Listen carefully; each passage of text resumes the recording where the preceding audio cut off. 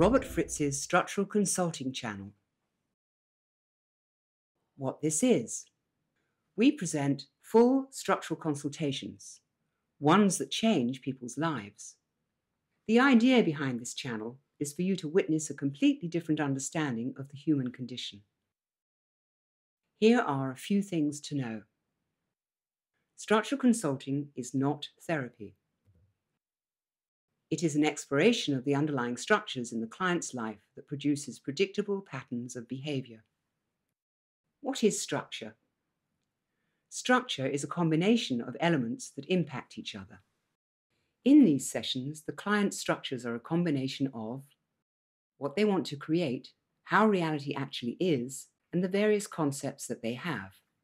The concepts clients have are usually hidden from them, but these concepts have impact in influencing the client's life patterns. A change of structure will cause a change of the client's patterns. The principle. The underlying structure of anything will determine its behavior. The process involves seeing the actual patterns in the client's life, which leads to a better understanding of the client's underlying structure. The sessions last between one or two hours. We suggest that if you do decide to watch them, do so when you have time to see the entire process. If you want to see more structure consultations, subscribe to the channel. And here is the session. Okay, so what do you want to talk about? Ah. um, do you know? I think I think um, when I first responded to the the video, it was the, the email, your newsletter, and got in touch. It was about just not being sure about whether I was, um, you know, whether I'd rate. I feel like there's bigger things to go for, but somehow along the way, I I either sabotage myself by doubting what it is I'm after, or questioning what my real desire is, or um, playing small because I think I think from way back I felt that if you if you become too powerful or big, you you'll do destructive things. So there's a sort of in a way um, yeah. I don't know if I've quite because I did those exercises um, of, of, trying to come up with those stories. Um, that was quite useful to to reflect on some issues that I would say are you know recurring patterns or um, yeah. Why do you why do you think um, or do you still think that if you become too powerful, you would uh, misuse it? Um, I think rationally now, no, I don't think that's the case. I think that was I was yeah, that was a sort of a, a hiding out excuse for a while. I think as much as anything when I think back to film school days, I found film school very the opposite of liberating experience. It was almost like we were we went we entered the National Film School at a time when the regime had been changed, and there was a there was very much a sort of um, it had gone from being a very liberal find your voice kind of institution to uh, decide what you want to do. There's no discovery allowed. It's it's we're going to measure you and uh, make sure you you graduate on exactly the path you set out to yeah. embark on. So even though I'd had a lot of directing and a little bit of writing and producing background camera background, they wanted me to produce and do nothing else. So um, and I did do other things outside of film school, but it was one of those. The guy who ran the course then um, had been a top bureaucrat in the Danish film bureaucracy and he just came in to sort of rationalize it and graduate people and yeah. turn it more into a business. So yeah. I think i think i came out of there um, almost traumatized about the idea of trying to find my voice. And now i feel a bit more mature about that. I'm thinking well i'm old enough now to just you know, find, you know it's a combination of yeah. What does that mean to you to find your voice? Why why is that why is that uh, what do you even mean by that you know, I think I think it's um actually yeah, that's a really good that is a good question because I suppose what I've found in the past, whenever I do something that is expressive and creative, like the sculpting. I don't know if you had a chance to look at the link. They were wonderful. I thought they were great. Um, that was a complete. Dis- I discovered sculpting by total chance, Mm. and um, but I was the sort of thing that when I do it, it was time stop still. I was just in the moment. I was in the flow. I just had to, even though I'd been given this gift of a first look deal, Hmm. I wasn't busy making the most of that. I was busy using it to take Well, a day.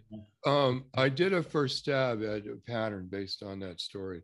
So let's go through it. And what we'll do is we'll check it against other stories and see if it's actually, you know, true to form.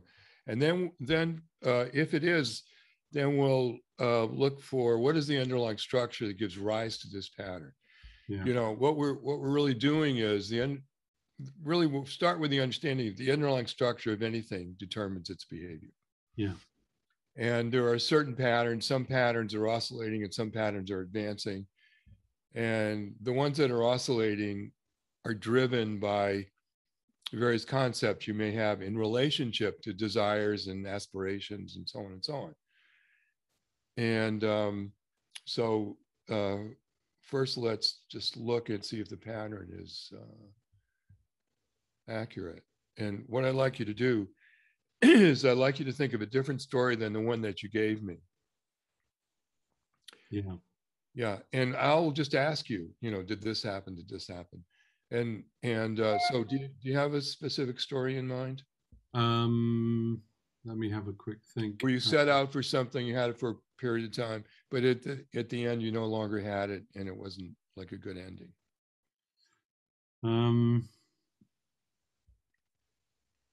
Could be a relationship, could be a business thing, could be project. Yeah, definitely. I mean, well, there was, um, I And guess. let me just say, don't don't try to fit it into a pattern. Just I just need that form of you set out for it, you had it for a while, you no longer had it, not a good ending.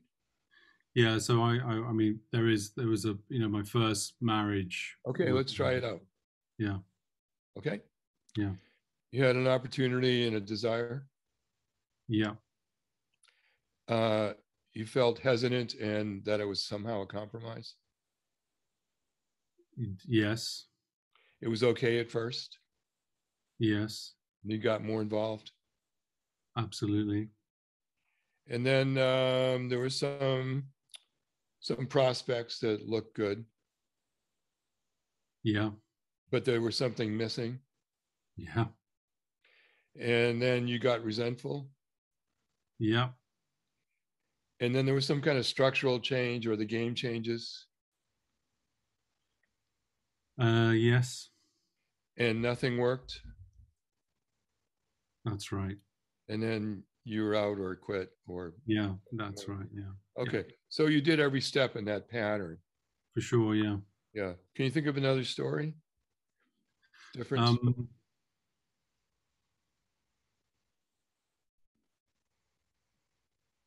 you know, this is the category of when you set out for something and, and yeah, really yeah. Well, I guess my first, my first job would be. Okay, wait, let me, let me just, don't tell me anything about it. I want to just, Okay. you know, opportunity or desire was there.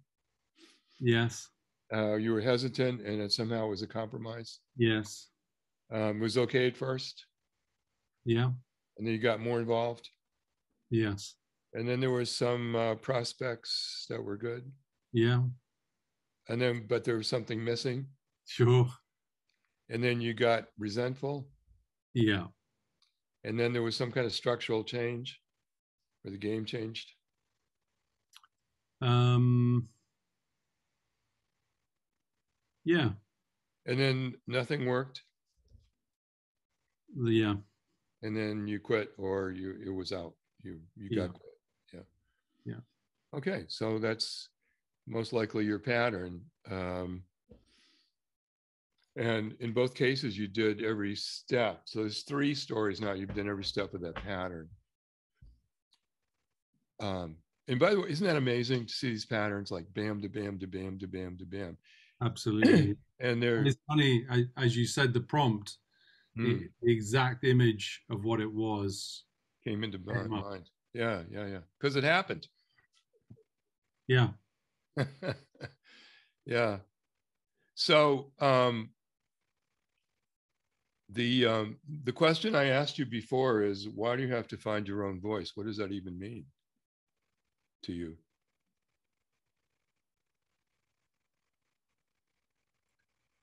Yeah, I'm not even sure what that means now, mm. uh, and how, because I I did about I think when I made that shift to getting into TV, mm. and I mentioned it was as much to do with um, a practical. It was rather than throw away all of my producing or, or filmmaking skills to date. I thought I'm going to shift direction and make something happen, partly for family, partly for life to be a bit easier.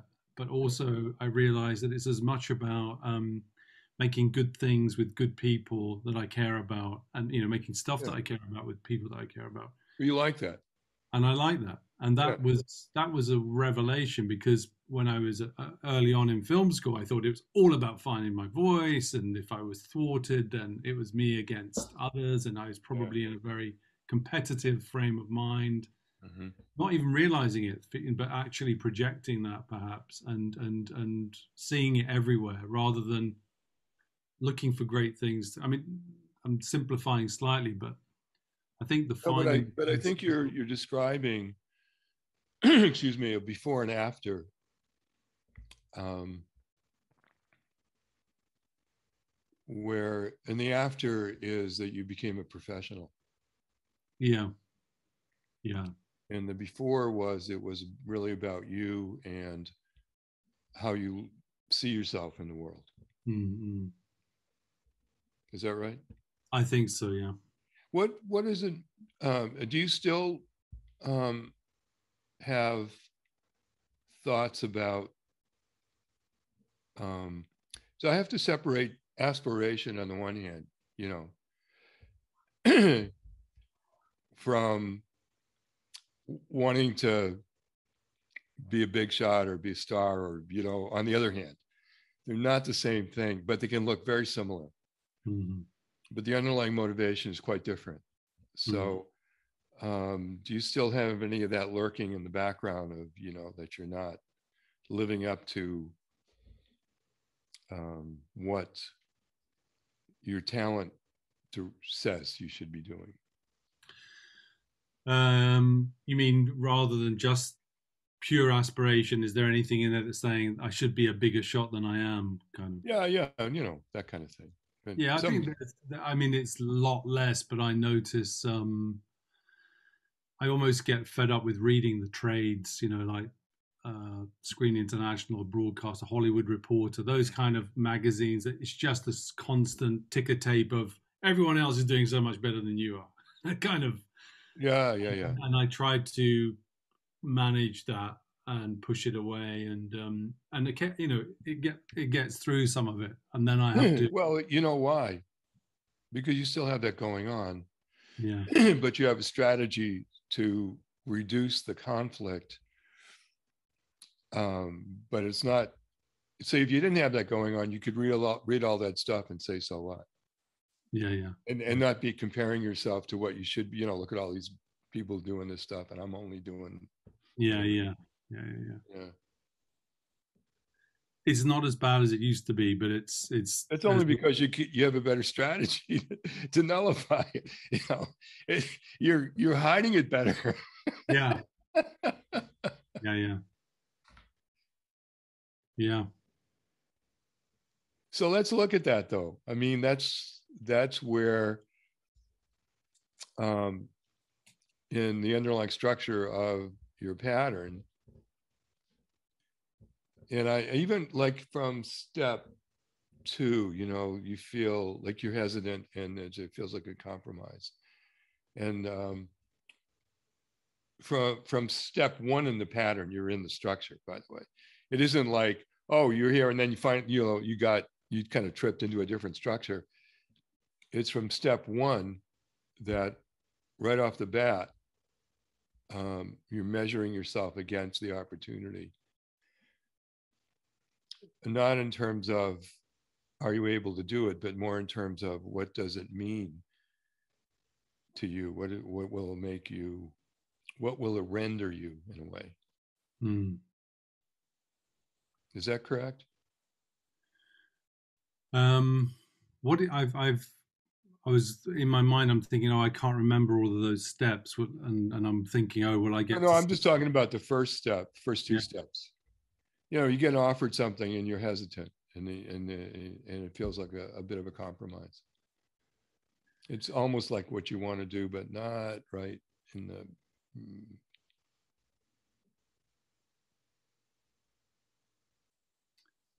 Um, well, I mean, there's a way that you described your life just then that sounds like an acquiescing, acquiescing to. Um, it's not exactly a compromise, but it's sort of like. Um,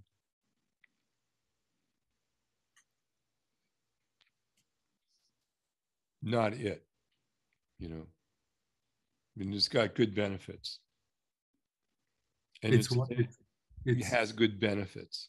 Yeah, yeah. But, but it isn't yeah. kind of thing. Yeah, I, I think there's something going on in my head that if I if I pursue whatever it is I'm not even sure it is I want to pursue, then I will end up not having an income, not having a you know, not having a basis for survival and um, yeah. and if I just relied on my talent as opposed to my strategy mm. or strategic thinking, then I would end up, yeah. Yeah, you're afraid. You're afraid you're going to run away and join the circus. Yeah, which I did once, more or less. yeah. So, so the, the basic notion is you can't really do what you want. You just have to do what's offered and what's on the menu. And that's what you're going to have is what's on the menu. And because if you went after what you really wanted, you wouldn't make it.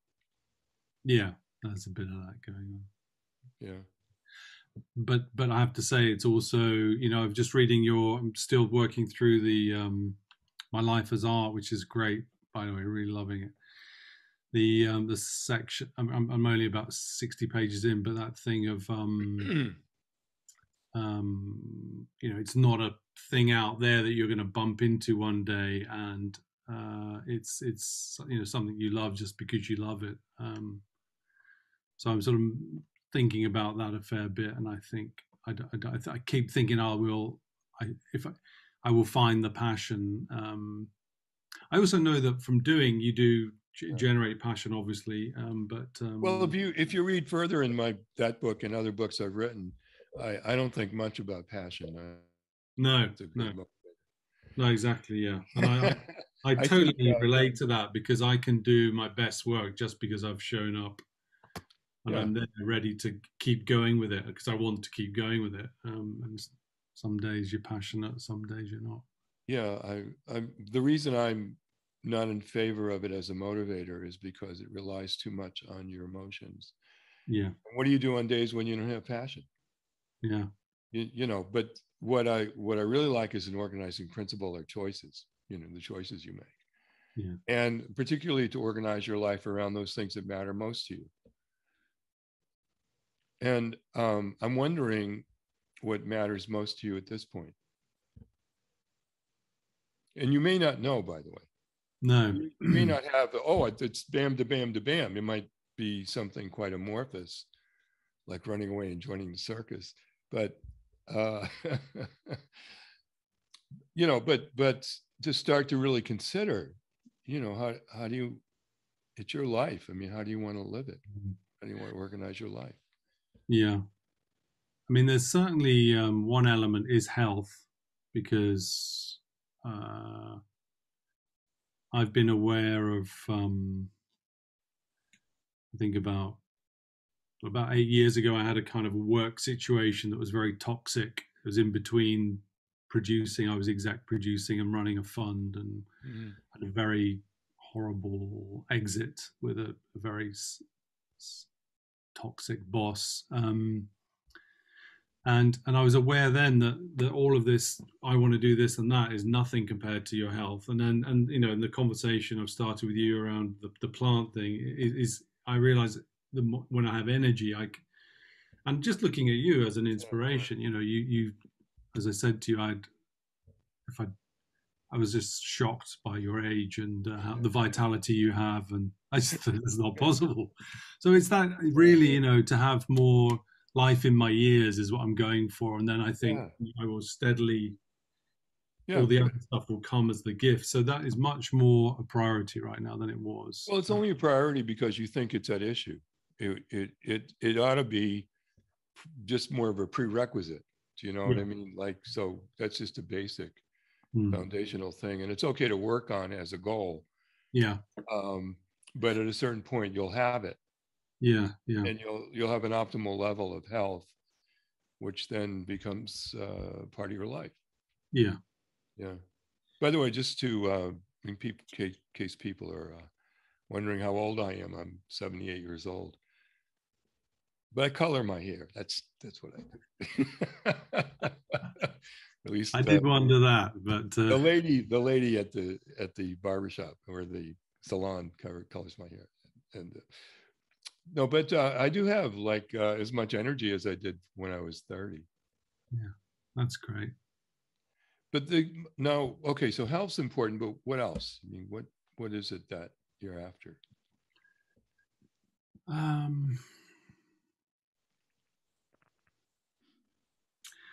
Well, there's there's um there's a bigger there's a bigger goal I suppose. I want to I do want to create. There's a series I want to create with there's a there's a writer that I'm working with who was upon whose material the uh, the Vorman problem was based, mm-hmm. um, and we are collaborating on something which would be a Japan set series. And I would say I've really got a strong feeling that that would it would be at such a, a creative, mm-hmm. euphoric feeling to get that off yeah. the ground. Um, and that's and it would be through my own company rather than as a producer for hire. So that that that is a genuine i can genuinely i mean we're in touch a lot and i can genuinely always yeah. having thoughts about it. And and i but i want to s- steer it. So i just i could just i could just see it off in the future as something that would make such a huge crowning difference to my produce it would how many uh you say off in the future what what are we thinking about? Uh like One end of um uh, uh, shooting and uh, shooting sort of early 23 really um okay. and you know. Would it be uh a japanese production?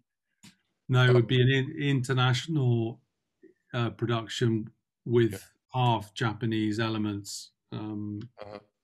it's set in japan but it will be it'll have it'll have strands mm. elsewhere and um good. Okay.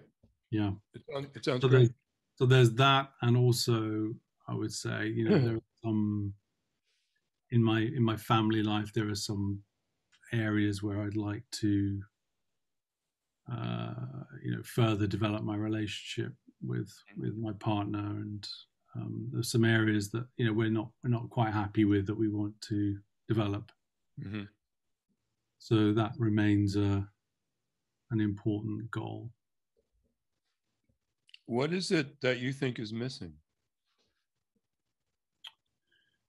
Um, well, it's it's it is. I'm asking you this question. Why? Because everything looks fine except you don't. Um, you know, on the on the surface, it looks really fine, and yet there's this kind of um, you know something else is there. Yeah, I, yeah. I, I tell you i'm not i'm not imagining that. It's it really is from you. And you may not know what it is and probably you don't but that's our job is to sort of explore what is that thing that um, makes you dissatisfied or you know not quite I, I don't know exactly know how to describe it well it's a tinge of something, you know, it's like a coloration. In your pattern, you hesitate, it feels like a compromise, and there's something missing. And even though you're going through the motions and maybe even more than going through the motions, really being involved um, on a pretty high level, there's some feeling this that this ain't it, which means that um, there must be an idea that there is an it. Yeah. And this ain't it, but there is one.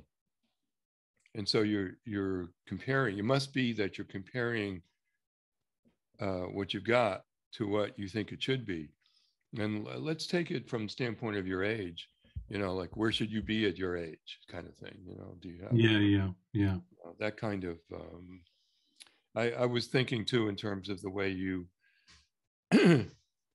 uh compare yourself to what other people are doing in the industry. Yeah. and somehow, and somehow feeling regret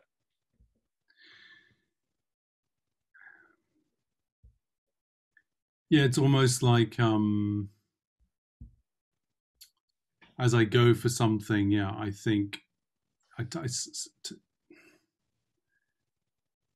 it's very easy to look back and think, oh, I should have played it differently. But I did, I did take, I do tend to take my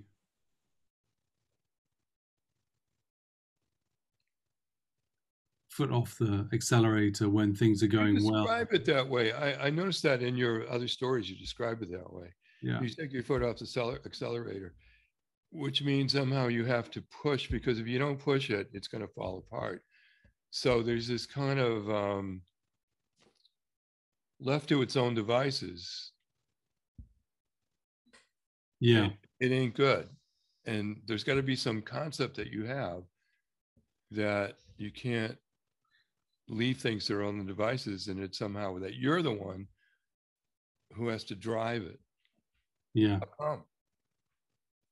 I don't know. I think this is. I think what happens in that scenarios is that I work so hard that then I think I kind of almost probably reach burnout, thinking that it is all on my shoulders, and actually that it's tr- linked to the health element. When I the, the two series that I just produced, I was aware on both of them that there, I reached a point where I felt ill, and um, yeah like indigestion, thinking it was heart trouble. You know, is that kind of like, but it was actually just it was bad indigestion, but it was that sort of taking it all on, and and in a way, it makes me a great guy to hire because I'll take it, I'll run the show, but oh, actually, you know, you may be a good from their point of view to hire you, but I wouldn't think it's good to hire you at all from the point of view of if the, if it's long running, you're going to run out of steam. Yeah and you know you think about the series uh, that you're thinking about in japan that would definitely be an example of something you want to be long running. Yeah yeah.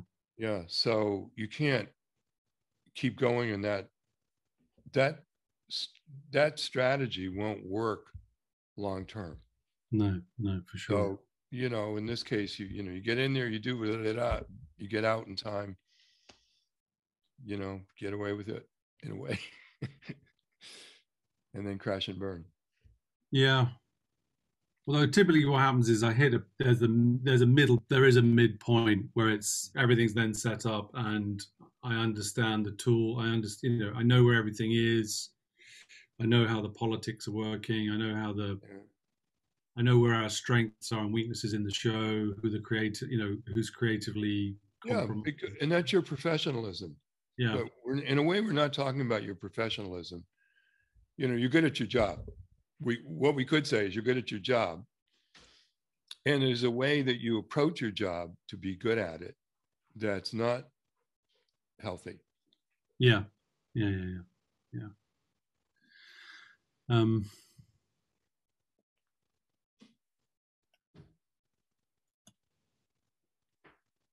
why do you um, play it that way versus let me let me give you another scenario that's a possibility uh, which is not a designed to be a solution to the problem, but just to, to give you a contrast. Mm-hmm. I mean, another way you could play it is create uh, a- adequate capacity around you so that you don't have a workload capacity uh, imbalance. And um, that so as you move in time, you can rely more and more. So the bird, the, the, the managerial burden um, then gets distributed on more shoulders and your life gets easier and easier as you go forward rather than harder and harder. Yeah. But that's not what you do. There's a way you take it on that um, is about somehow how you think about these things that you're not necessarily in fact you would not be directly aware of it it's a compensation it's a compensating strategy for something that we haven't named but that mm-hmm. we're looking for mm-hmm. Yeah, in a in a broad sense, uh, I mean, I've just recently finished a funding application for a for to, to expand my company to bring on a team, you know, to help me do more yeah. for my for for my own company. But um, and it's true that when I'm a producer for hire, I have a team around me, but it doesn't stop me from perhaps over taking on bits that I could learn to, you know, and, the, and the question is, okay. you, you, you're describing the behavior really well. And now the question is, why do you do that? Yeah, I feel it's um it's approving, it's um looking for validation. It's almost like uh okay. people pleasing, it's looking for praise, it's it's all of why those. Do you, why do you want praise? What what would that do for you? I mean, not in reality what it will do for you. But in the strategy, what does the what motivates that? And, and, you know, it, you we said a few things. You said looking for praise, but you also said looking for validation, hmm. which is not the same as praise. Yeah, I think I think there's something um, there's something the the harder the hard pill that I've found to swallow as as a producer, if you like, um, which is it gets it becomes a little earworm or something in my head is. I remember going to Sundance early on, and uh, we had a film there, and and I remember like a volunteer basically was we went to a radio station to talk about our film and the writer director was there and I was there and I considered myself up until that point as a, as a sort of as a creative producer who develops the script you know a third of the script was mine you know and she said oh have you thought of being a filmmaker yourself at some point and I just thought that it just stopped me in my tracks because yeah. it, and there, and there's a sense that you know when even recently when I made the last tree that got back to Sundance there's that you know that as the as the producer you can be easily overlooked and if and, unless somebody was there they wouldn't know what your creative why does it matter to you whether they know it or not? I don't know it's a question. It's i don't know i don't know. but let's know. Let's find out. Let's find it's got to be a reason right? Yeah yeah. the reason doesn't change whether we know the reason or we don't know the reason. It's not going to change the reason. The only difference will be we know it versus we don't know it. So that's what we're after yeah, is yeah. um is that there's uh, something there in which um,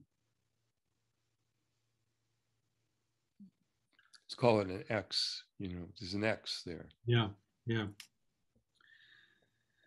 Yeah, what is that all about? Um, it would be very easy to try and psychologize it all. And, you know, I, I know this isn't therapy. So I'm I'm avoiding going down that kind of uh, route. Well, but um, yeah, I don't need to know about mommy and daddy, but I I want to know what you think. It's about you and your thinking. I think. um by the way, in terms of mommy and daddy, there's things you agreed with and things you didn't agree with. So you only took on the things you agreed with. So the fact that you may have originally got it from them is irrelevant since you're the one who said yes to it. I agree with that. Mm-hmm, mm-hmm. Given all the things you probably didn't agree with. Yeah. Yeah. Yeah. So um, let's keep it in in the ballpark. I, I um. Well, so they, I'm, I'm here. Here I am picturing you at the radio station in Sun, in uh, Park City or wherever it was, and um, you, you know, do you want to be a filmmaker someday? She says to you, like you're not a filmmaker. Yeah. And what did you think at that moment? Besides that, you were not given your due, which was true when you weren't. I, you know what it is. I think there was something in there where there's combination of things of of um, unless someone gives me permission to do something, uh, then then I, I haven't. You know, the the gate the gate the gate is locked somehow, and why do you need permission? Well, I, I clearly I don't. But yeah, that's the reality side. Yeah. And the conceptual side, you do. Yeah, on the conceptual side, it's because um,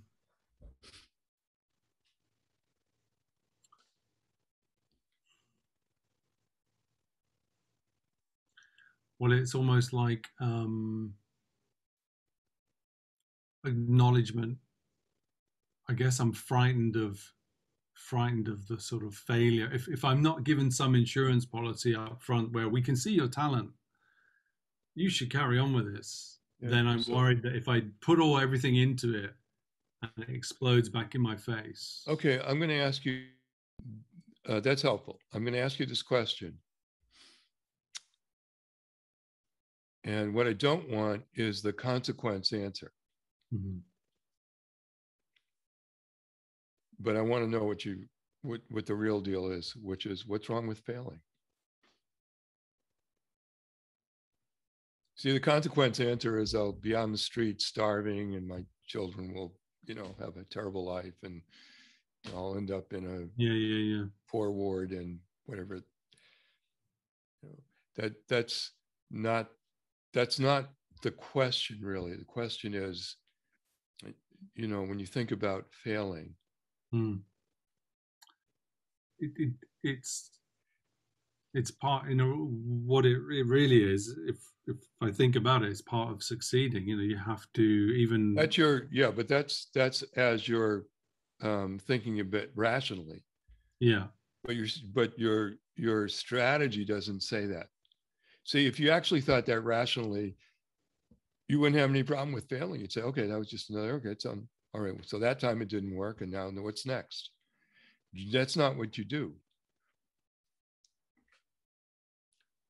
you know, in a funny way, that's what you know you should do. Yeah. Which is why you can so easily say that, but it's not what you do. You don't play it that way. You play it a different way. You play it yeah. like there's something wrong with failing.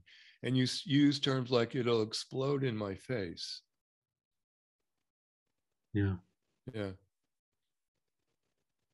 Okay. Now, listen, I think I've got enough to give what I think is a structural conclusion to what we talked about up to this point. And if it's wrong, we can, you know, go back and try to rethink it. Okay. Yeah. I have certain evidence and clues I'm going to base this on. I'm going to tell you what I think it mm. is, And we'll explore it and see if it's correct or not correct. Um, generally, it is a control strategy that you have. Based on fear of imagine fear like of. Fear of imaginary danger like worst case scenario. And there's a couple of things that lead me to think that. One is um, limit input is one of the hallmarks of that strategy and for example when you avoid reading the Hollywood Reporter and the other trade magazines, that kind of thing.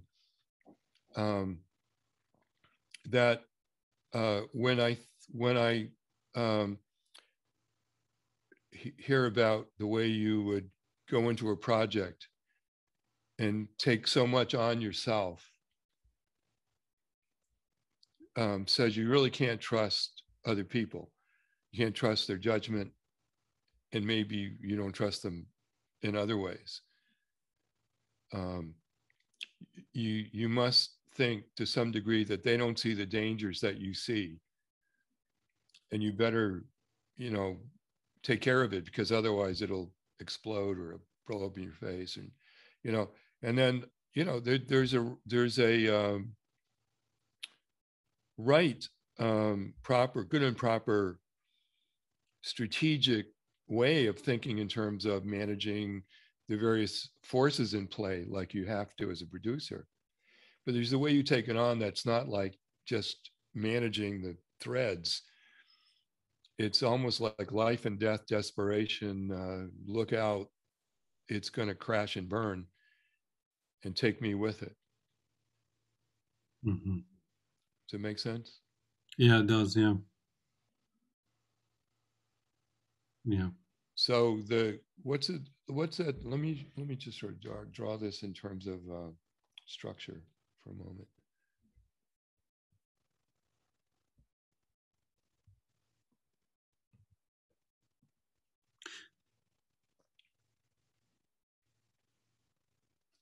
Okay, so um, you have very strong dynamic urge. Dynamic urge is like desire, aspiration. Yeah. It also could be appetites and it could be vague hopes and dreams. But in your case, um, you're really quite quite aware of things you want to create. And then there's current reality, how it, how it is. And then there's concepts.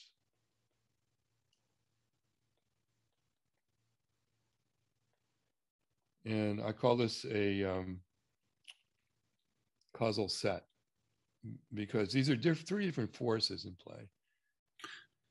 Robert, will I get to watch this afterwards myself? Yeah. Yeah. So these these things combine, and what the structure always looks for, every structure looks for equilibrium. And the structural dynamic in physics is that things are looking for equilibrium. So, for example, if we set up a tension, it will strive for resolution because the, the contrast that creates a tension is looking to, to resolve the differences. In this case, um, come on, go. In this case, this causal set creates feedback loop, but it's not able to accomplish equilibrium. Uh, because when you're, you know, my two rubber band thing, right? Yeah. Yeah. So at your, when you're at the desire stage, well, actually, let me describe that differently. When you're at the um, outcome stage, you know, you're, you're focused on the outcome and you're over here this rubber band is really quite relaxed, but this one's really stretched. And this is where mm-hmm. the concept comes in. So this is what you must think when you're successful is look out. The other shoe is about to fall. Be careful. Is that how you usually feel? Um,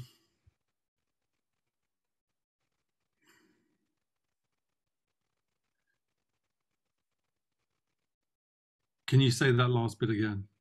When when you have success, mm-hmm. it's actually the point of most tension in the structure.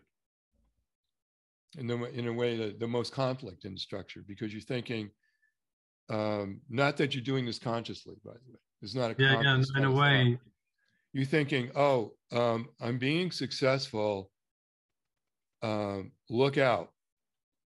Yeah, in a way, um, it's right because even when we did get Sundance with our film a couple of years ago, I, I, I remember being quite uptight while we were there for, rather than celebratory. I mean, there was a little bit of celebration, but it yeah, was. Yeah. I don't. I didn't feel at ease. uh, waiting for something, perhaps. Yeah, yeah, yeah. Right. So, um, go ahead. I had a flashback to a memory uh, to a, something in my past as a young, as a boy. Is that relevant to? Do you want me to? What are you? What is it? Well, it was it was this thing of um, something you said triggered the thought of it, and I wondered if it was related. But when I was uh, three and a half, my um, younger brother was uh, there was a tragic accident, and he was killed right in front of oh, our. Oh my God! Yeah. In front of our house. Um, oh, that'll do it. And I remember the the circumstances. I, I had a false memory about it till I was about twenty, but I was there when it happened. But he basically escaped from our back garden and escaped on his bike. So he took his initiative, escaped from the garden, got on his bicycle, went where he wanted to go, which is, and he ended up in front of a of a, of a parked vehicle that pulled off before anybody realised he was there. I think that's um, actually uh, very relevant in the sense that um, from that you made a conclusion about life. you know it's the, the concepts that people have are not um, usually repressed areas of consciousness where they're experiencing whatever it is and they're you know it's more of like that's over but what's not over is the conclusion you made about life mm-hmm. which then becomes the concept that you then guide yourself based on mm-hmm. i think that makes perfect sense yeah yeah what what we have to explore is whether your idea about the dangers of the world is accurate.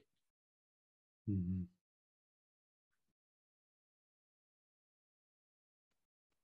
See, because what your strategy would be to think about worst case scenario,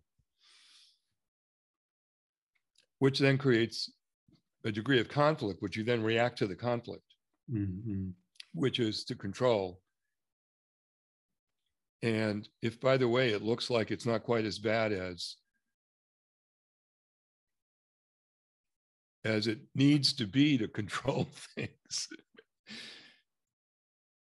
you you uh, would limit the input that it's okay, and say, well, wait, no, it's not as okay as you think it is. There's all there's all these possibilities that you don't see. Yeah.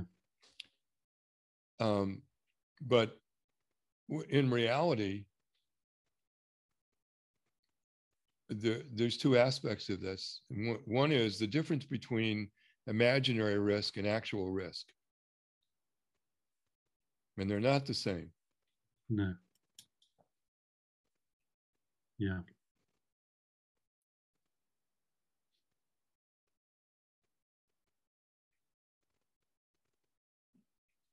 You think about your career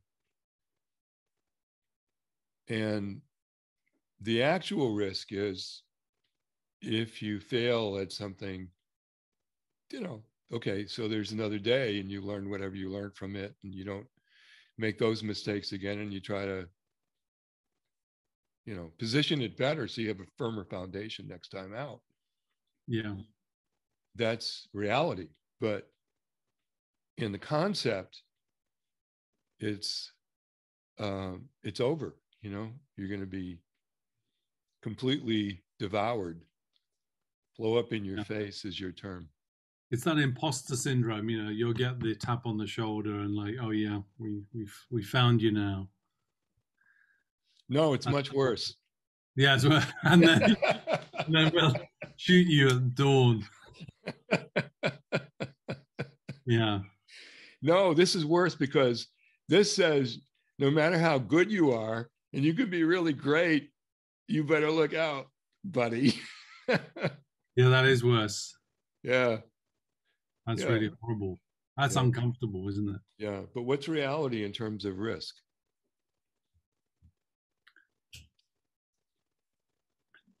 Really minimal, actually. Because um, even if I even I was just thinking about the jobs for hire stuff, you know, because you're as good as your last show, but um, I've done stuff that's the reality now is that I've done stuff at a level where even if I fail at the next one for whatever you have track, yeah, what you're saying is you have a track record, so you're as good you're as good as your track record. Yeah.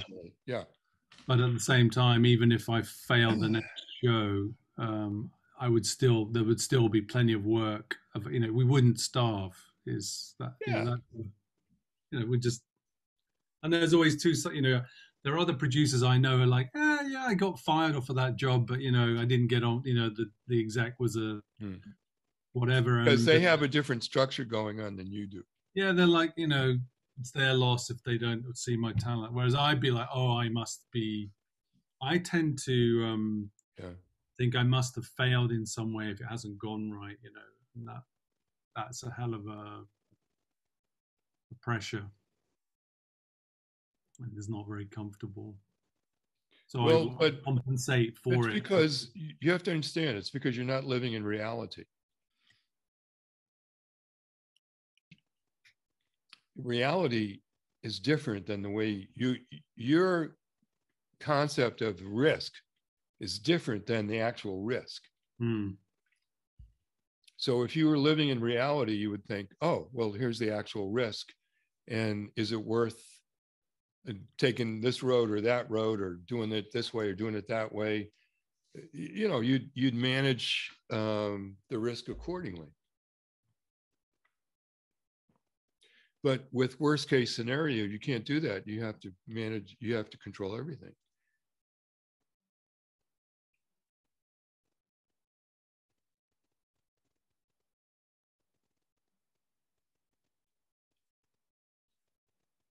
mm-hmm.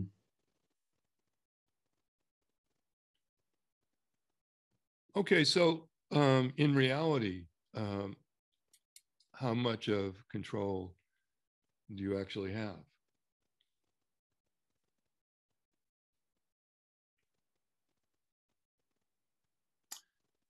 In reality, I have um,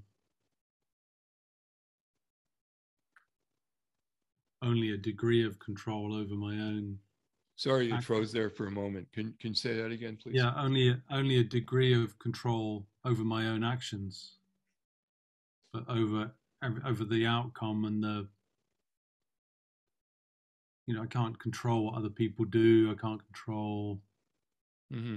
whether there's a tornado or not when we're filming. You know, I'm yeah, thinking, yeah, absolutely. It's all. It's I can look after my tend tend to my corner of the universe. Yeah. I want you to say this and see to what degree it's true. I can't control what I cannot control. I can't control what I cannot control. Mm-hmm. Is that true or not true? It's true. The strategy says you can. You, you know, the strategy says, look, look how hard I'm trying. Look how hard I'm working. So, universe, you better cooperate because look how hard I'm trying. And you got to reciprocate, do your part. And your part, by the way, is don't create a disaster.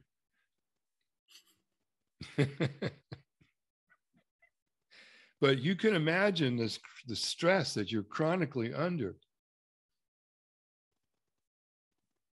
trying to prevent um, disaster from breaking out the moment you um, quote, take your foot off the accelerator. Yeah. Which is your phrase.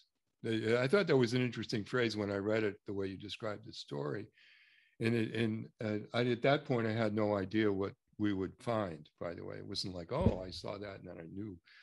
Uh, not at all. It's only as we've been talking that I've sort of pieced together um, what, what you're up to. And um, what we need to do now is sort of teach a reality. And the reality is, first of all, um, you don't know how much risk there might be in a situation. You know the probability, you can see the patterns, you can see, oh, it's probably okay to park my car here and probably not okay to park my car there. You know, there's there's um, accommodation of uh, acceptable risk and unacceptable risk. Yeah. And that's just reality. That's that's sort of you're steeped in reality when you're making those kinds of decisions. but um, in a literal sense, you never know what's going to happen next. So um, we actually don't know the actual level of risk. We only know the probability. Yeah. So um, can you say once again, I can't control what I can't control? Um, I can't control what I can't control. I can't control what I can't control. So if you find yourself trying to control what you can't control, um, you know right off the bat you're not steeped in reality.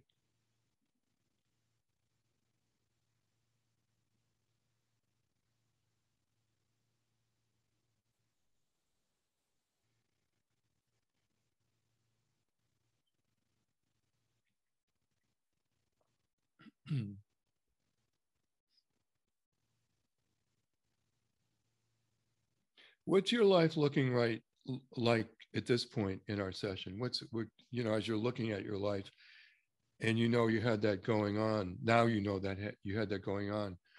Um, are you having any insight uh, about the future?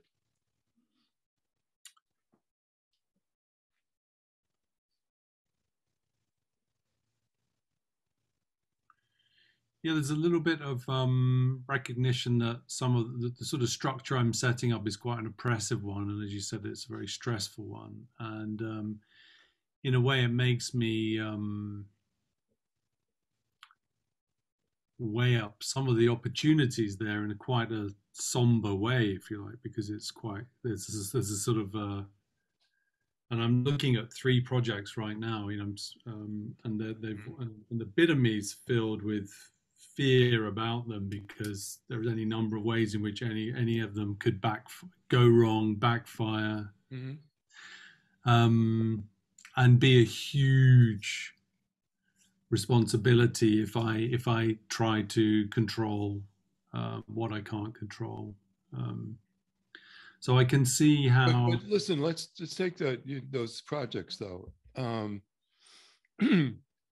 I mean, certainly you want to set it up so you have the highest probability of success. Of course. Yeah. And if you're not in the way and you just do your job, in other words, the concept is no longer in the in the structure. What you're left with is structural tension, you know, end result, current reality, no concept.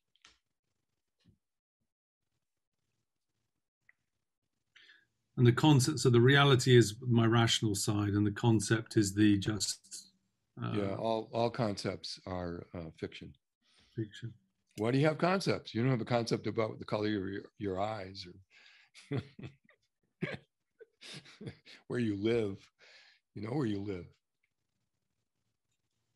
Yeah. People people have concepts in light of not knowing what reality is. Okay. Yeah I want you to say, I can't control what I can't control, or I can't control what I can't control. That's sorry for my American accent here. but can, can you just say that about five or six times? And as you say it, really see the implication it has for you in your life. Mm-hmm. Because in your life, you have actually acted as if you could control what you can't control. I can't control what I can't control. I can't control what I can't control. I can't control what I can't control. I can't control what I can't control. Mm-hmm. Is that true or not true? It's true. Mm-hmm. What's the implication of it being true? Why, why might that be important for you to know?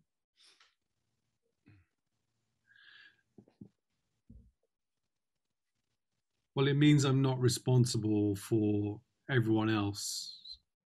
and everyone's path Mhm.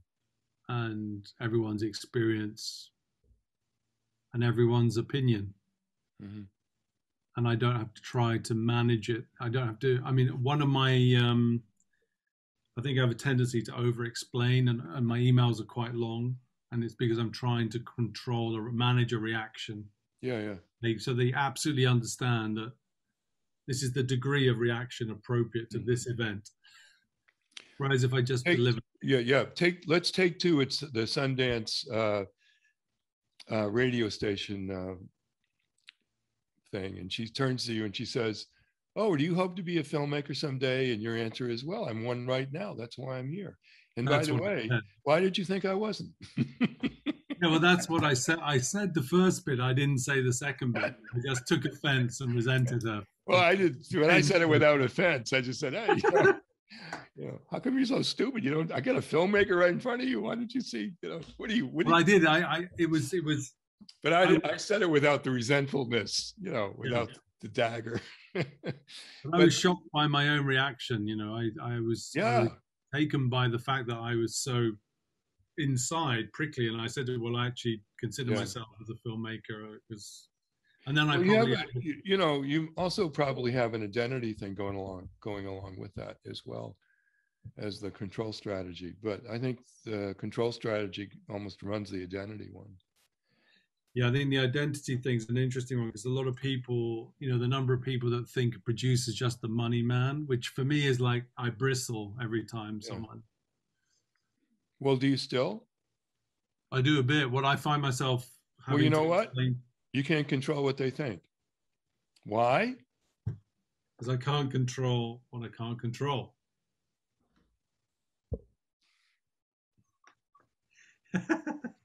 So do you still bristle? I mean, it's not to say I'd rather have them be knowledgeable than completely ignorant. yeah, yeah. Yeah, it's a that's a preference, but to have a, a, reaction, you know, it's like oh, Actually, that's a really good point because it's a load off if I don't have to teach everybody I, I meet about what a producer does.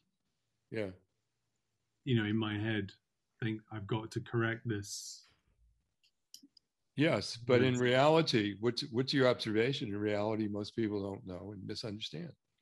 Yeah, that's the reality. And I, I you know, understand. for the most part, even when you're explaining it, for the most part, they probably don't even want to know. Thanks very much. No. Oh, yeah.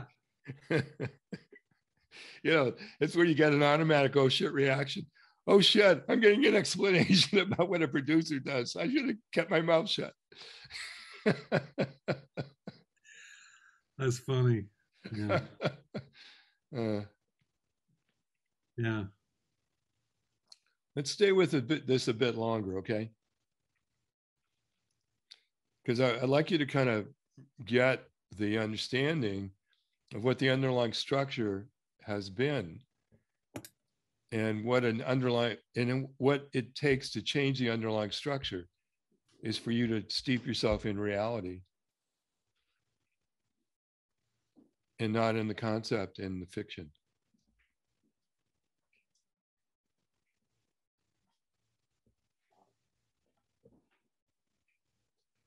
Does it make sense to you? Yeah, it does. So take a look at these three projects you're you're thinking about or you're about to work with. Yeah. What's it look now in reality?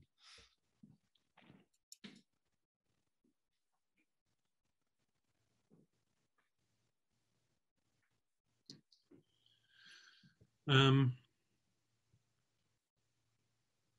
well, what's interesting about the I can't control what I can't control is is that there there are three projects. uh, From, this is from a sort of freelance producer for hire element um, that are in the ether right now. One is one was apparently landed, but it's not actually greenlit. Another is um, off into the distance Mhm. a bit less fully greenlit, and another one seems to be aggressively coming towards me. Um, Mhm. Like, we want you to do it. What you know? What does it take for us to? mm-hmm. And then and then each one of them have um, international elements. Quite exciting. Well, do you, do you want to do you want to do them? Well, let me. Do you want to do uh, the one that's coming at you? Uh, yes, but a bit of me, I've been a year and a half invested in the other one that's sort of still flickering, and I've been on, I've sort of been on the, been on the payroll, but um, it's still not green lit, and it's it's feels like it's stumbling. Um, well, it might be. That doesn't answer my question. I don't know enough. The reality is, I don't know enough about this this one that's coming at me, and I have a call tomorrow. Okay, okay, that's good. So just you just in that case, just need to find out more to know if you want to do it or not. I need to find out more. And what has what happens if it turns out you don't want to do it? Um, that's a good question as well because. And what's a good answer?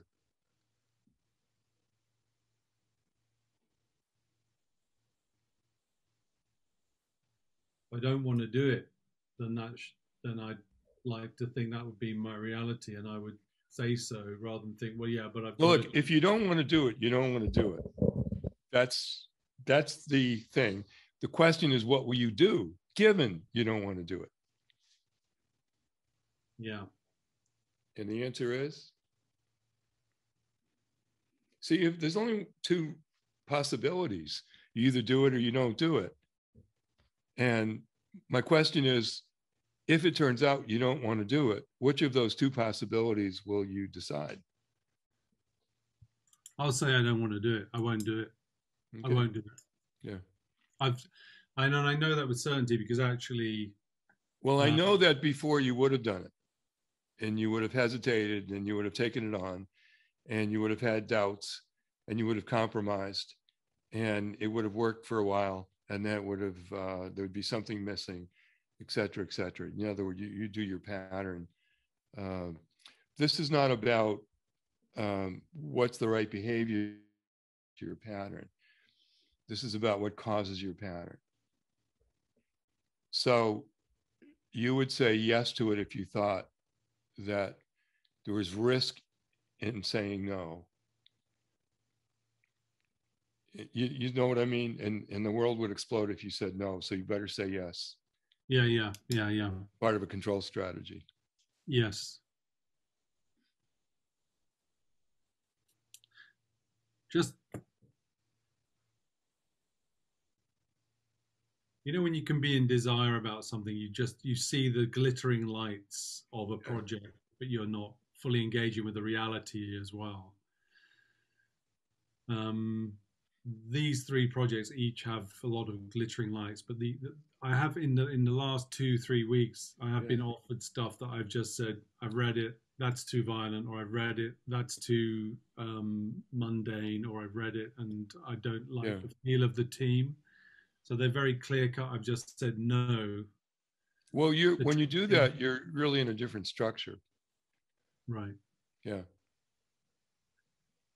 Whereas these three projects, um, I, I, think I really need more info to be able to have a clear cut understanding yeah. whether it's well, a yes absolutely no. fine you know but the point is that you can't control what you can't control. And if if there's enough there as an organizing principle to get involved then you can do that. You can say yes to that if you want. And there's no guarantee it's going to work. Mm-hmm. yeah.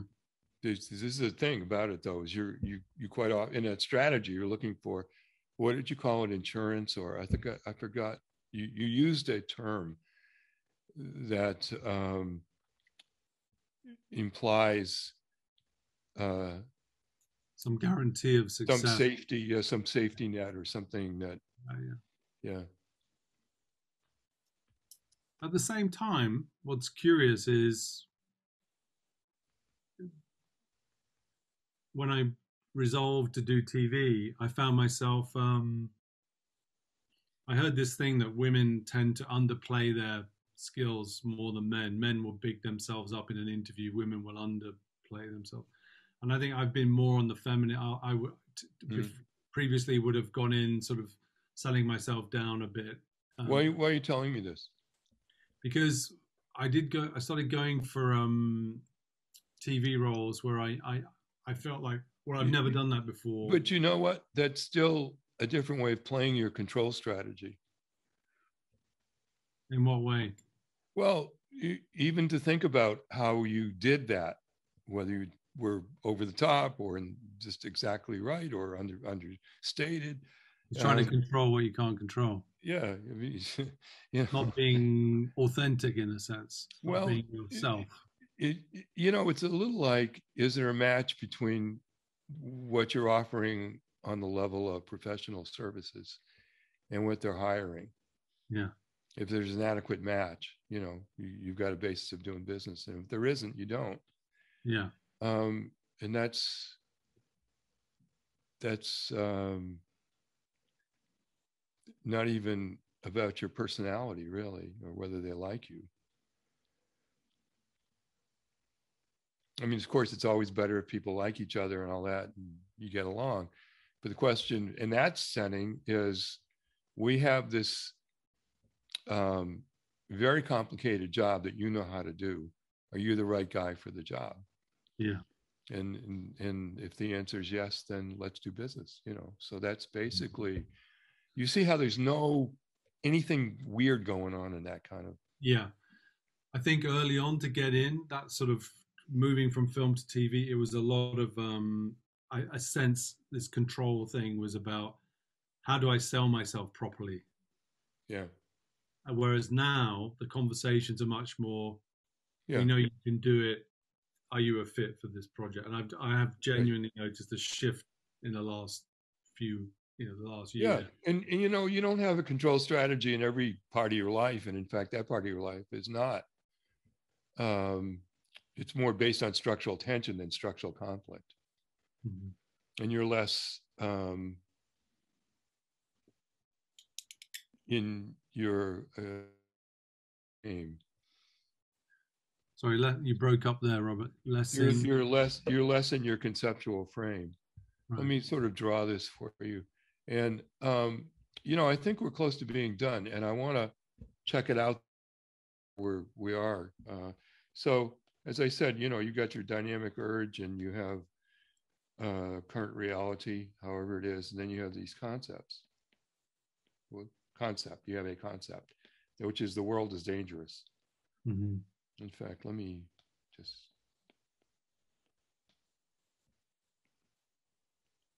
danger. and um, if we said, okay, what's what's really true in reality? Well, we don't know what we don't know, and we can't control what we can't control. So we can control what we can control, like you show up for work, you do a good job, you know, all the stuff that's within your means of control, you can control, but then you can't control whether somebody gets sick or, um, et cetera, et cetera. So the the uh, if you understand the difference between reality and the concept, and you understand the concept is fiction, but reality is real, in which sometimes you know things, sometimes you don't, Sometimes you'll be able to control things and sometimes you won't be able to. In the meantime, you're still working toward the outcome. What happens is this this disappears. This goes away. Not that you, by the way, don't think it to be true on some level, because on some level you've made that conclusion about the world.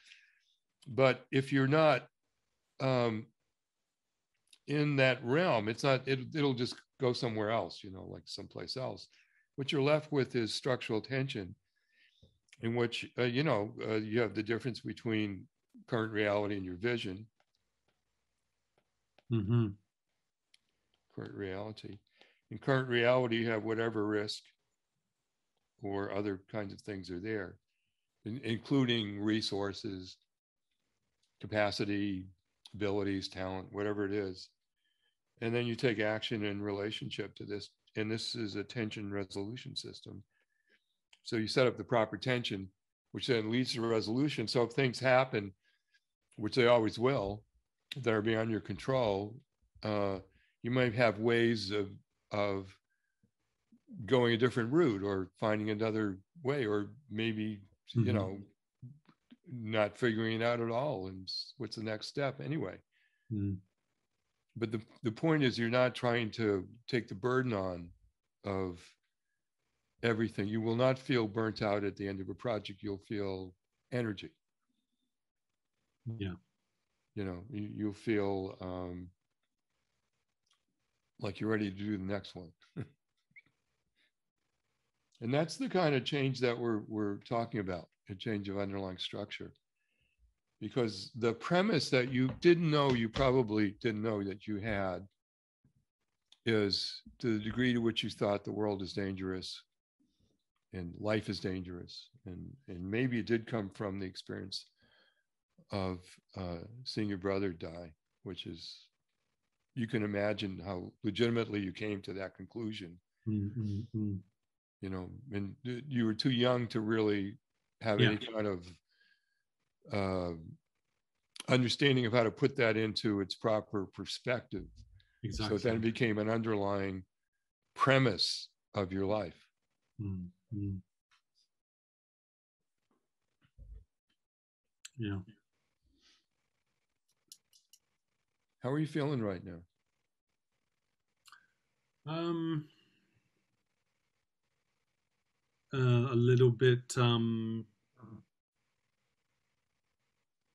reflective and uh, some of the I, I, feel still I feel like I'm still chasing after some of the concepts from this session. So I think. Uh, what are you chasing after? Let's um, let's figure that out to, here and now. Well, just how to.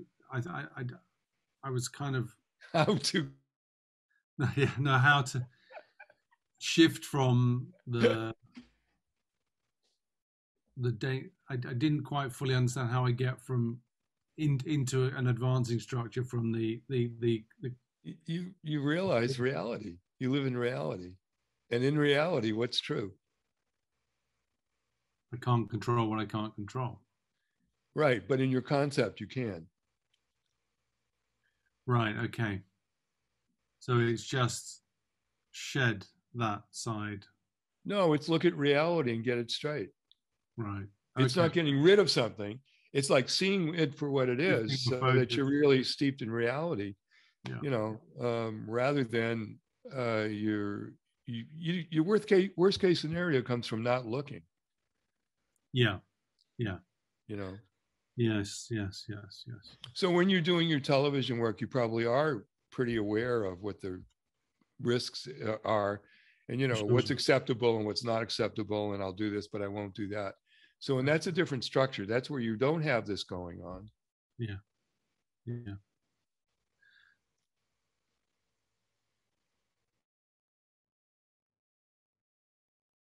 Uh, you mm. and being a filmmaker, that's such a big thing for you. Say that again. What is it about you being a filmmaker that's such a big deal for you? I think it's um it's that thing of giving us giving humanity a little bit of more insight about itself in a way of you know seeing what we sure, are capable. yeah yeah that's about making films. That's not about you being a filmmaker. Yeah. Um you, you know i i and i'm i really it's it's i'm just wondering if maybe this has changed in the last few minutes but um, I mean, you, can take pride in being a professional and being a filmmaker on that level of, of, you know, I really appreciate what that takes to do that job. And I like that job and I like doing that job. And I'm really quite grateful I get to do that job. That's not quite a, about identity, that's more of appreciation. Identity is, you know, it's me, I'm the filmmaker. Don't call me a producer.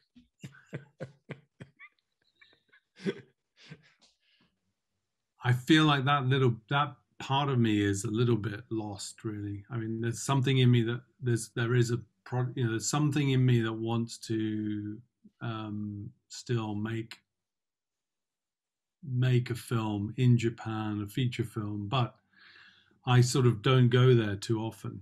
Um, and life seems broader anyway. The, sort of the. Well, you want to do that because you want to do that. Yeah, I want to do that because I want to do that. Exactly. What do you mean you don't go there? You did go there. I mean, I don't go there in my head too often about, you know, at the moment I'm not giving myself a hard time about, well, why aren't I writing this project or why, why am I not spending time? I'm sort of. Oh, I see. You're not, you're not giving your, you, you're not controlling yourself. To, I'm not trying to, yeah, hold myself up yeah. as ready to slap myself down, but I, I yeah. don't, I don't believe it's gone away, and I don't think um, mm. it's too late. But at the moment, okay, now I want to just show you one more thing. Hmm. Uh, wait, sorry.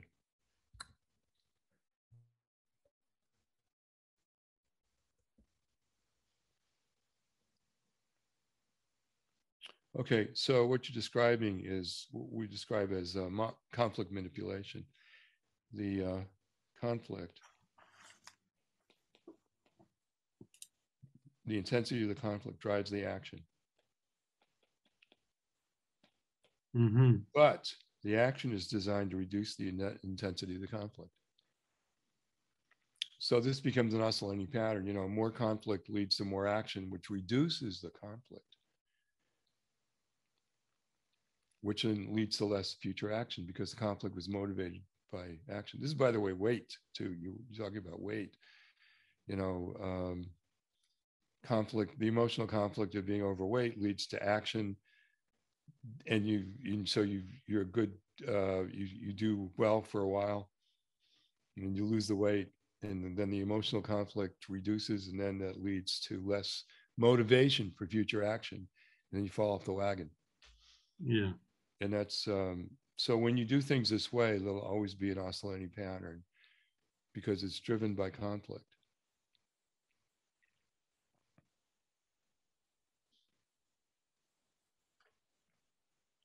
And this is one of the ways, by the way, you try to control yourself. Yeah. Is through uh, setting up uh, conflict.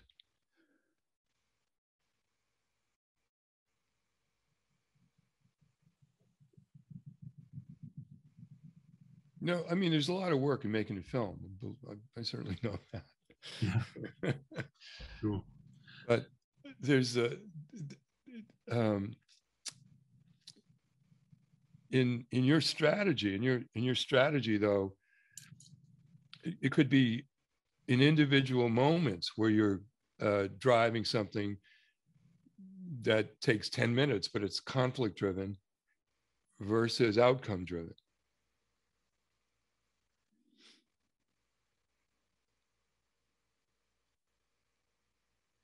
so I, I don't know yet that you really quite uh, get the implication the fully of that you can't control what you can't control.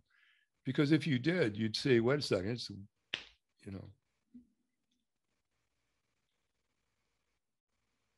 you, you know, you still might be looking, okay, how do I control, given that I now know that to be true, how do I control it? Right. And on the other side of that, by the way, is freedom of that issue. You know, you're free to stop trying to, you know, yeah, yeah, yeah. Yeah. But I did that that one thing I did, you know, for Amanda's um, book launch. Yeah, it was it, nice. Yeah. It was nice, but I didn't care what it. It, was exactly as I imagined it, and it yeah. took no time at all, and it was a very, um, it was a smooth process, uh, which is so that there was a liberating element to it, which which yeah. is part to do with this what you've said about it wasn't a conflictual structure. It was um yeah, it was I, I it was real, cre- but it was real creating.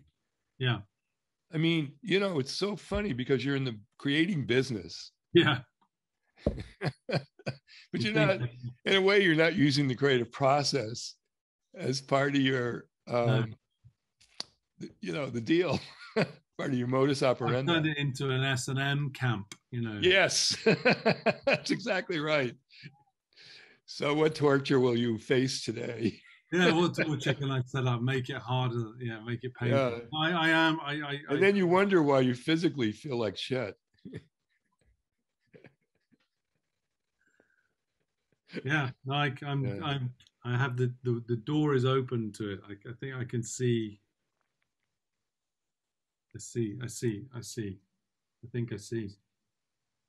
Good. It's important that you see what reality is, independent of your concept of it. Yeah. Because you'll see your concept of it does not stand up to scrutiny.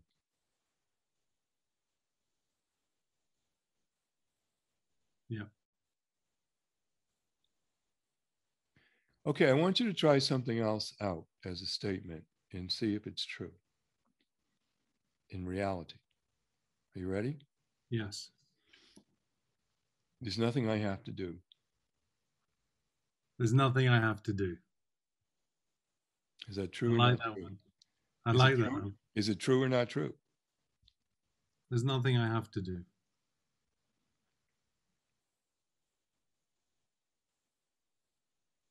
I'm hearing echoes of all the things you think you have to do. Yeah, constant yeah. things I have to do, but um, but you have to do them. That's the uh, that's you know the you, you've made this whole thing about I got to do this and I got to do this and I have to do that and I have to do this, but in reality, there's nothing. I mean, do you have to even live really? No. Mm-hmm. So if you don't have to live, how can there be anything else you have to do? The key word there is have to, like obligation versus yeah, yeah, of course. Yeah, yeah, yeah, yeah, yeah. No. Okay, now look, say that three or four times just to teach it to yourself. Because the another premise you have is as many things you're obligated to do. Yeah. And that's another aspect of controlling yourself, by the way, is through I've got to do these things and turns into conflict and then you take action. And then, you know, at the end of that kind of a cycle, you don't feel elated, you feel relief. You know, yeah. like thank God that's that's over. Yeah. Okay. Yeah, there's there's nothing I have to do. There's nothing I have to do. Is that true or not true? It's true. There's nothing I have to do. Okay. So if you really get this, everything else is a plus.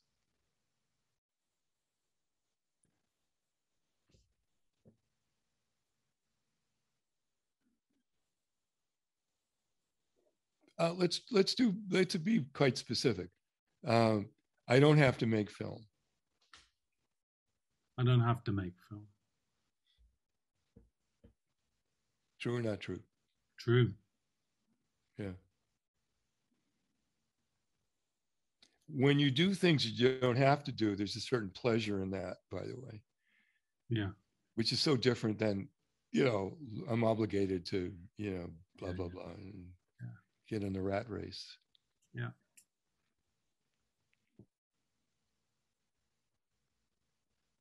Yeah. What's your life looking like now as you're looking at you can't control what you can't control? You don't know what you don't know. And you, there's nothing you have to do. A lot looser. Hmm. And lighter. Hmm. And more space. Yeah.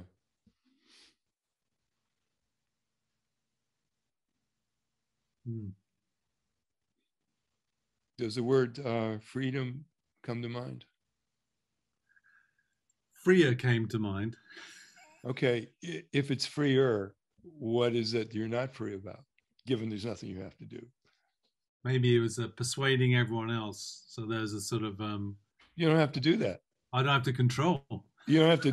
there's nothing you have to do. You don't. They, you know, roll your own. I mean, they're it's up to them. yeah. Yeah, freedom. Yeah. Freedom.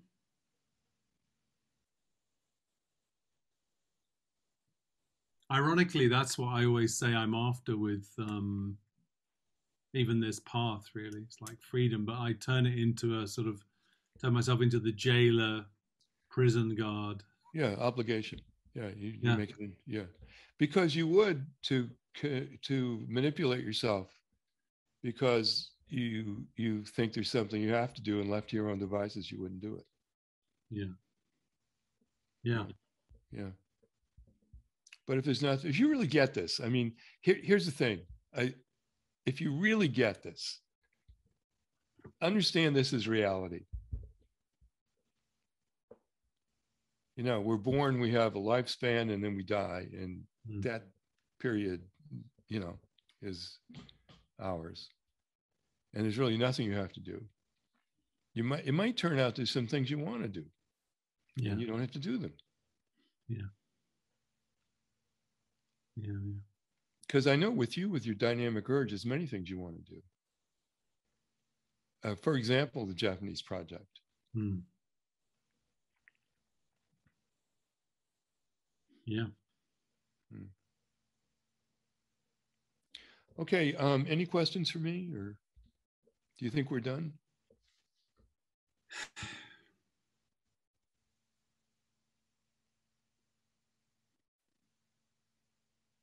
Yeah, no, I think we're done. I think um,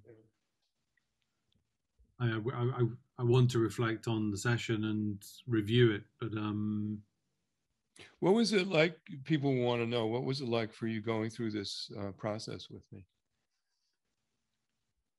from a client point of view yeah, it was um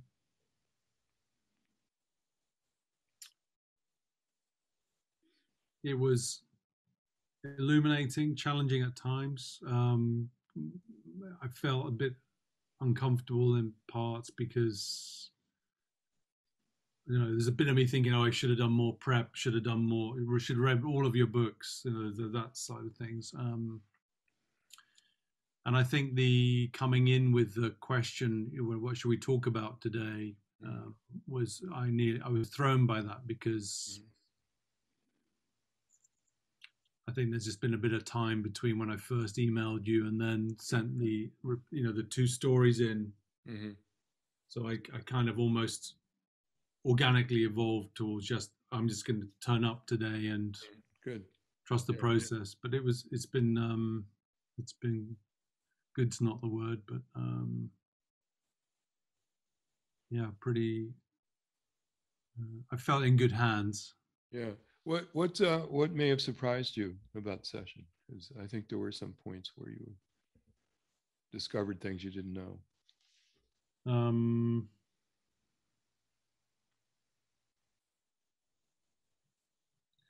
Well, the the the, the predictability of my structure was uh, just fantastic because when I looked at those examples, the events came to mind very clearly. So I can own that, and and that makes me think, wow, you know, um, that's not a structure I want to keep um, encouraging. So um, yeah,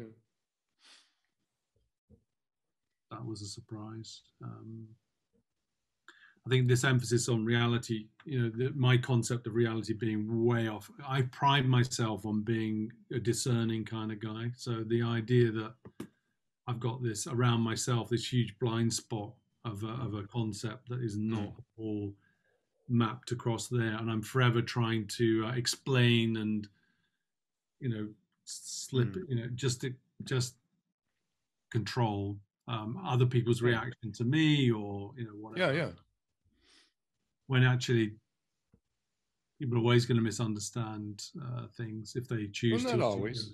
Well, not no. always. Yeah, sometimes yeah. they'll get it, sometimes they won't. Yeah, yeah. Welcome to the Earth, planet Earth. yeah, and also um, trusting myself to, if, if if there is a massive misunderstanding, then communicating then in a way that may or may not resolve it if if it needs to be resolved or well, you can't control what you can't control. Can't control what you can't control. So. And there's nothing you have to do. Yeah. So there are things you want to do, though. I mean, that's, that's yeah. Well, that's the good. That's the good. Just thing. because just because nothing you have to do doesn't mean you don't want to do things. You want to do a lot of things. It clears the clears the path a lot, doesn't it? Yeah. Like, yeah. There's all there's there's a few. There are much fewer things. Mm that um, get in the way of discovering those urges and and and it's good enough to want to do them i don't have to have a reason um, there is no reason. Yeah. Actually. There's nothing you have to do. What could be the reason? I mean there are things you have to do phys- physically to, to stay alive. You got to breathe air. You have to have enough food and water. You yeah, have to stay warm. You know uh, that's about it. Yeah. It's not very good. What we want. We want other things too, you know, quality of life, good health, meaningful work. Yeah. Yeah. Well, great. Well, thank you. So um, any last uh, reports about how you're feeling? Um, uh, grateful. Thank you very much. Appreciate this session and all your support over the last little while. And um, yeah, a bit lighter and inspired. Yeah, to really take a look at this. And it's going to be very helpful because I have got. I've not been looking forward to the next couple of weeks of decision making, but actually I just look at it a bit differently now. I think. Yeah. Good. Great. So, yeah. Okay, I'm going to stop the recording and please stay on though, because I want to talk to you a bit. Okay.